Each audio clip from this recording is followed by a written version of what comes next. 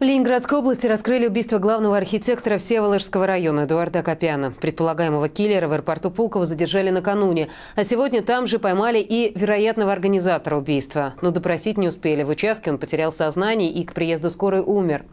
Вот что нам сообщил собственный корреспондент ВГТРК в Петербурге Олег Яхонтов. Сейчас по факту скоропостижной смерти мужчины, которого задержали в аэропорту Пулково по подозрению в организации убийства главного архитектора Всеволожского района Ленинградской области Эдуарда Акопяна, проводится проверка. События же развивались следующим образом. Для раскрытия убийства Эдуарда Акопяна, напомню, по одной из версий, поводом для преступления могла послужить его профессиональная деятельность, была создана совместная оперативная группа сотрудников Петербургского управления уголовного розыска и оперативников УФСБ.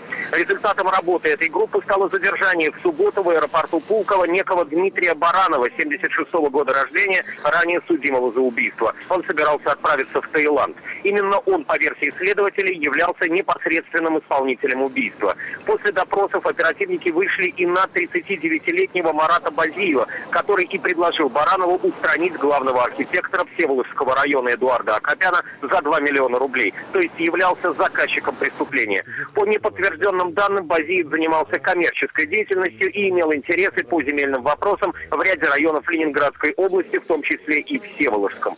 Сегодня утром он был задержан в том же аэропорту Пулково при попытке улететь в минеральные воды. Подозреваемого задержали, доставили в управление уголовного розыска, чтобы допросить, но, согласно официальному сообщению Главного управления МВД по Петербургу и области, подозреваемый вел себя неадекватно, угрожая выброситься из окна, а затем внезапно потерял сознание. На место была вызвана скорая помощь, а до ее прибытия сотрудники уголовного розыска пытались оказать задержанному первую помощь. Однако приехавшие врачи констатировали смерть, предположительно от острой сердечной недостаточности. Внешних телесных повреждений на теле скончавшегося не обнаружено. По факту скоропостижной смерти предполагаемого заказчика убийства проводится служебная проверка. Олег Яхонтов, Вести, Санкт-Петербург.